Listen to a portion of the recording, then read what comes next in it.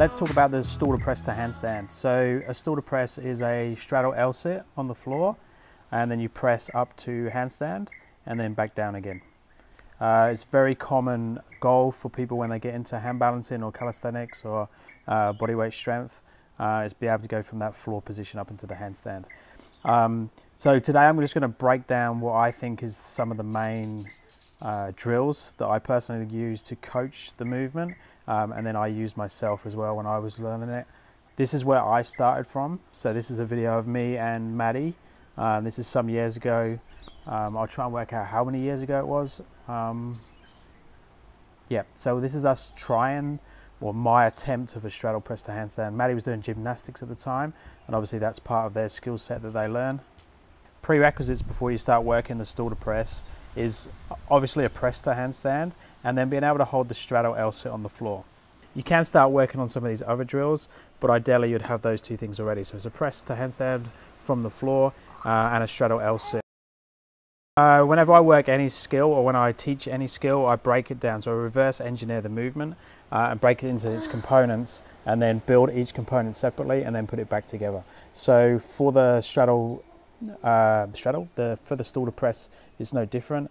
So we will be working eccentrics, so negative movement, so from the handstand back to down to the straddle L sit. Some people for this um, drill will need to raise their hands up so they can get their feet through without touching the floor. Is partial range.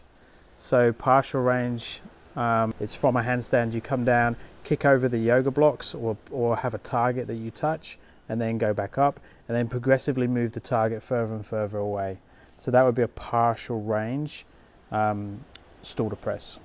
And then the third drill that I would work on um, is the straddle L sit hold itself. So get very strong in that bottom position because that's the position that you're going to have to change direction on. Um, you should have the mobility and flexibility to um, at least sit in a straddle pancake on the floor uh, comfortably and you should have have the ability to hold the straddle L. So if you can't hold the straddle L on the floor, if you don't have the flexibility to sit in a straddle, and if you don't have a press to handstand yet, I'd work on those things first before working towards the um, stalder press. Mm-hmm.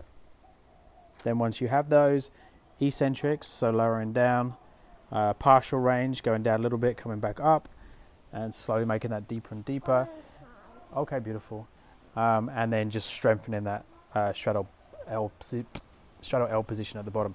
Now there's loads of other accessory work and you'll see coaches suggesting different things um, and they're all good. Uh, they're just, these are just the main things that I work with and the ones I use the most.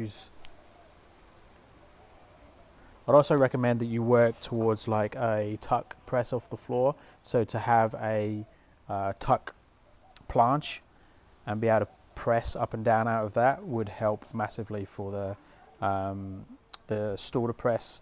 Now, if you have a full tuck press off the floor, so like kneeling on your shins and be able to push up into the a handstand, um, you should be able to do a stalder press. They're basically the same thing. Obviously, the flexibility demand on the hips is a little bit different, but the movement, uh, the press range, the, the range the hips have to go is, is the same thing.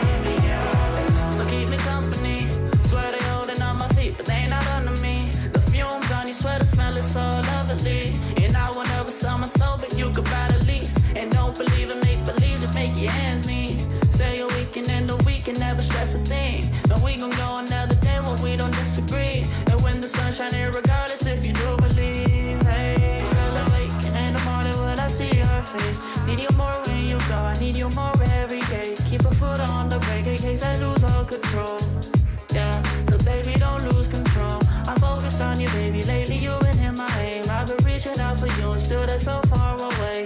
Looking through the smoke in the mirror.